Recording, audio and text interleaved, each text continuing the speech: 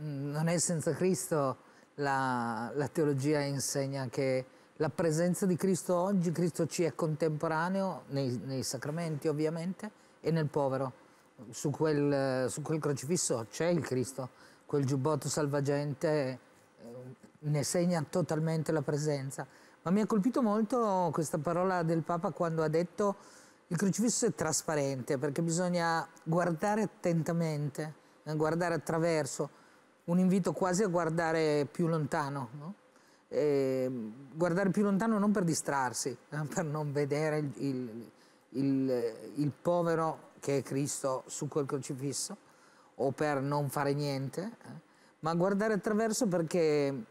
perché questi, eh, questa realtà, la realtà dell'ingiustizia che produce così tanto dolore e così tanta sofferenza, è una realtà molto più complessa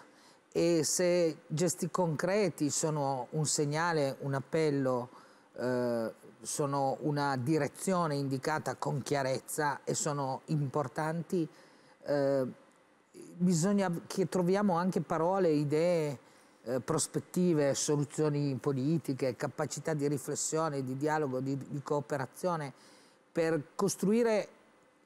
una realtà in grado di non produrre più queste situazioni.